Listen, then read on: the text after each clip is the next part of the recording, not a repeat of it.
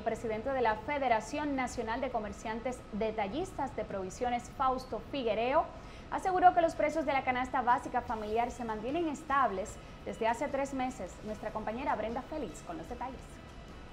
A diferencia de otros países del mundo, la República Dominicana mantiene precios estables en la canasta familiar y es autosuficiente en la producción de rubros agrícolas, aseguró el presidente de FENACODET, Fausto Figuereo. Pero sí tenemos una canasta familiar con precio estable y gracias a Dios que nosotros somos un país de producción agrícola y que no nos falta nada de los rubros agrícolas, gracias a Dios. Un poquito más caro, es verdad, pero no nos faltan.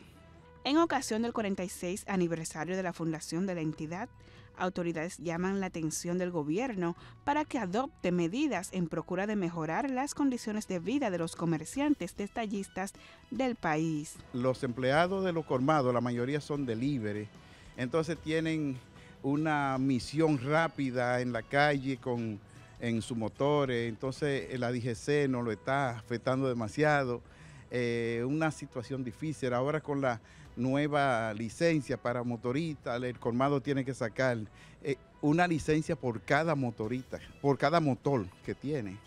Entonces, eh, es un cuello botella lo que se ha formado. Asimismo, aseguró que la delincuencia ha obligado al sector a disminuir la cantidad de horas de trabajo en horas de la noche. Lo colmado que normalmente hacemos un horario de 7 a 11 de la noche, pues estamos cerrando a las 10 de la noche y luce contraproducente en un mundo globalizado y avanzado como el que vivimos hoy, que la mayoría de los colmados en los barrios periféricos del Gran Santo Domingo, Santiago, otras ciudades del interior y los campos, eh, hay que ponerle barrote a todo porque la delincuencia nos está acabando. En la actividad que se efectuó en el Salón de Actos de la Asociación de Comerciantes Mayoristas, Fausto Figuereo, presidente de la entidad, destacó los aportes realizados por la institución para el desarrollo del comercio al detalle en la República Dominicana.